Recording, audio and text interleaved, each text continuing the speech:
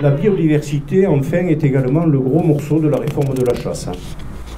Nos, dossiers devront être estampillés biodiversité compatible pour que nous puissions prétendre et percevoir les subsides attendus.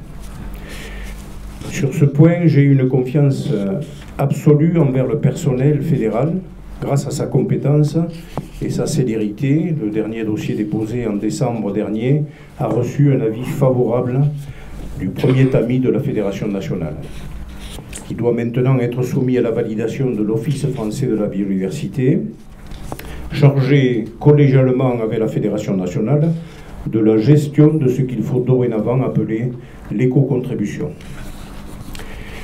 Tout cela semble très barbare, j'en conviens, mais ne vous méprenez pas. C'est aussi difficile pour moi de suivre cette nouvelle forme technocratique de la chasse, mais c'est ainsi. Cela dit, Madame la Présidente, chère Hermeline Malherbe, lors de notre rencontre du 27 février dernier, je vous avais sollicité pour que le Conseil départemental intègre le monde synergétique dans toutes vos revues et références biodiversité. Vous m'aviez spontanément donné votre accord, voilà qui pourra rassurer les éventuels sceptiques.